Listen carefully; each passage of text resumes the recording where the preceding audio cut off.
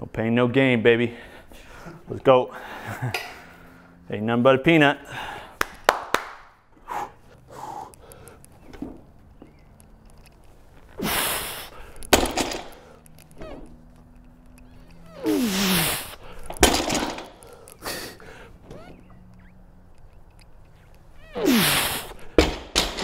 Hey guys, this is Coop from Garage Gym Reviews. That was the second time doing it in five minutes. And today I'm comparing that bar, the Titan Blue City Power Bar, to the reigning champ, which is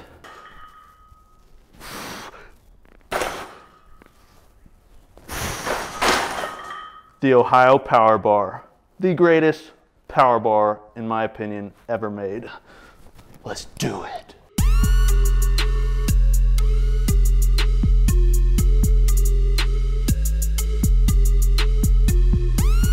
Now, within the past two weeks or so, I've gotten more messages than I have in quite a while on one product, and that is this bar sitting behind me. That is the Titan Blue City Power Bar.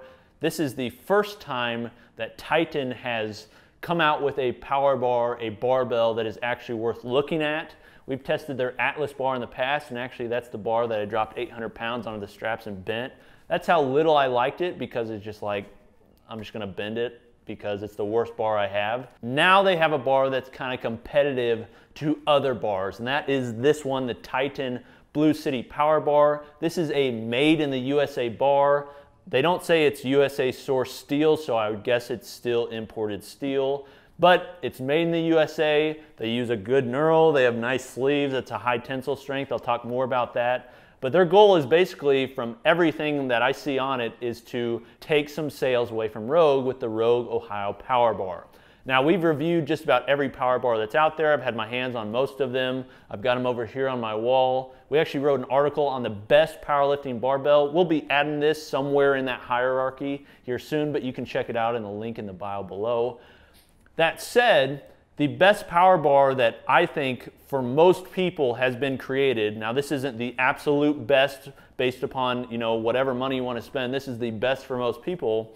That is the Rogue Ohio Power Bar. And I'm not alone in that. Sure, there's some people that argue it's the Texas Power Bar, but in my opinion, the Texas Power Bar has been replaced by the Rogue Ohio Power Bar. So I want to compare this one, this new up and comer at a good price point to the Rogue Ohio Power Bar because that's the one they're trying to beat and that's the one I think everybody's chasing. Just to give you a little bit rundown on the Titan Blue City Power Bar, it's 200 tensile strength, so it's a high tensile strength, okay? Typically, we used to see 190 tensile strength. In fact, the Texas Power Bar used to be around 150, 160.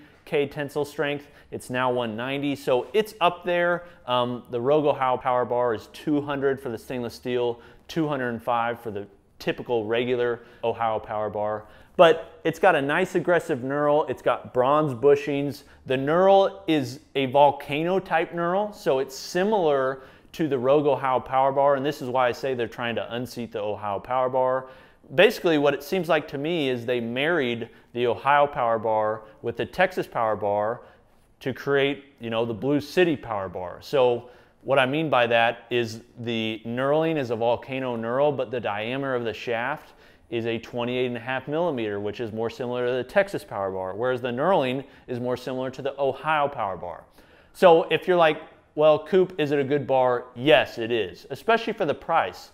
So we have a price tracker on our website. You can check it out on the link in the bio below. But when this bar first came out, it was $322.95, I believe. They've since lowered it to $299.95, which by the way, Titan is constantly playing with prices, which is why it's nice to have a price tracker to figure out when's the best time to buy it.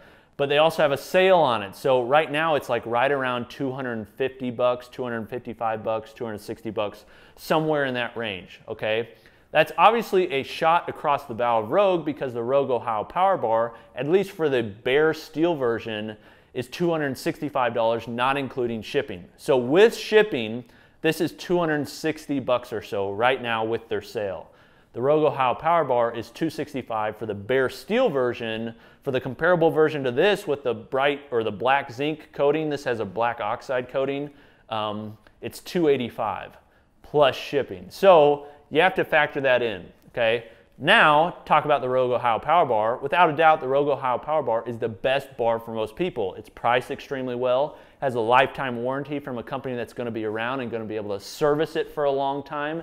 It has one of the best knurlings that out there. Really, the only knurling that I like, maybe a little bit more, at least similar, is the Kabuki Strength Next new Gen power bar, and it's you know 600 bucks or so, so not even on the same like level in regarding to price point. Um, and you got other bars as well that are up there. The Texas Power Bar is great, but the Rogue Ohio Power Bar is the one that I think most people, and I think most people think this about the bar, is the one that most people should have. So, which one is better? The Rogue Ohio Power Bar is the better bar. By far, it's the best power bar for most people. However, I don't blame you on if you like this bar. It's a great bar for the price. Now you got to understand there's a few things that are involved. One, you're buying it from Titan Fitness. So are there going to be scratches on it? Are they going to warranty it? Is it going to come outside the tube? All those things that you typically deal with Titan. Two, if it's Chinese source steel, it may say it's 200K tensile strength, but that doesn't necessarily mean it is. Um, I've seen bars where they claim it's one thing and it's completely something different um, because they're trying to run low margins. And I'm sure this is a low margin bar that really is probably a loss leader for Titan. They get it in, they get you in, and then they get you buying a package. So you buy a squat rack along with the bar and things like that. Um, but overall, it's a great bar. So this is what I'd say. For most people, the Rogue Ohio Power Bar is still the superior bar. It's still the best power bar for most people. I'd even say that considering the price. However, if you're on a budget and you don't want to pay that extra $50 and you just want a good power bar, you know, I always try to be honest in these videos. I'm not like trying to just sell you on a product if it's not good. This is a good bar. It's not as good as the Ohio Power Bar, but it's a good bar. All the specs are up there. Um, you know, the knurling's great. Everything about it is a solid, it makes it a solid bar. So I like both. I prefer the Ohio Power Bar, but I don't blame you if you go with this one. What do you think of this bar? Do you think it's a pretty good bar? I've been able to use it in some workouts. I think it feels good. Use it for squat, deadlift, and bench. Had some other people use it, and you know they aren't like barbell savants, so they don't like you know know every barbell out there. But their opinion on it was they like the knurling. They think it felt good. And the 28 and a half millimeter is a little bit different from the Ohio Power Bar, so it feels a little bit better on deadlifts but it also makes it a little bit more slinky on squats. So that's what I think. Let me know what you think in the comment section. I'll put a link in the bio to both this bar, the Ohio Power Bar, and then some comparisons that we're doing on our website. Thanks for watching. We'll see you next time. Peace.